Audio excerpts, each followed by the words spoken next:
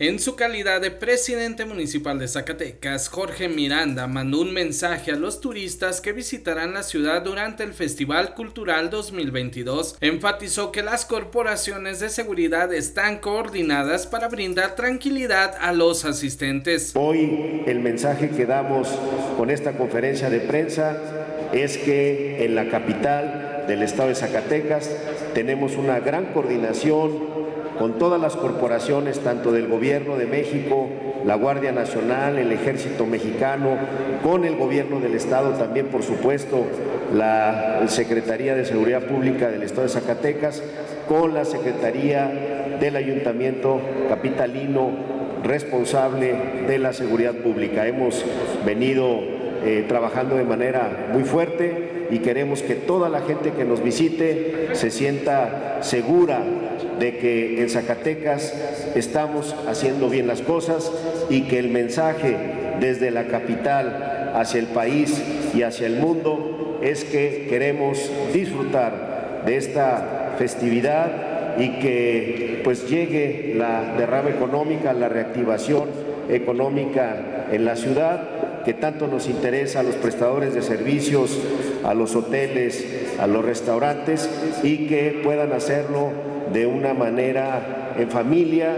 de una manera con toda la calidez que los esperamos con los brazos abiertos. Por su parte, Gustavo Serrano, director de Seguridad Pública de Zacatecas Capital, precisó que durante el fin de semana se registró saldo blanco en todos los eventos que se presentaron en el Festival Cultural. Integrados en un centro de mando que está cubriendo los eventos eh, durante el tiempo que estos eh, están activos. Eh, el día sábado 9 de abril tuvimos una afluencia de aproximadamente 4.500 personas con un saldo blanco.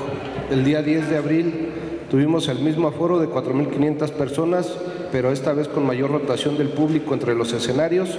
igual con un saldo blanco, únicamente con un incidente de una femenina de 32 años y un, masculino de 6 años que presentaron gastroenteritis sin ameritar, un traslado. Eh, hacemos la invitación a la ciudadanía en general, no se va a permitir el consumo de bebidas alcohólicas en las calles durante los eventos del festival.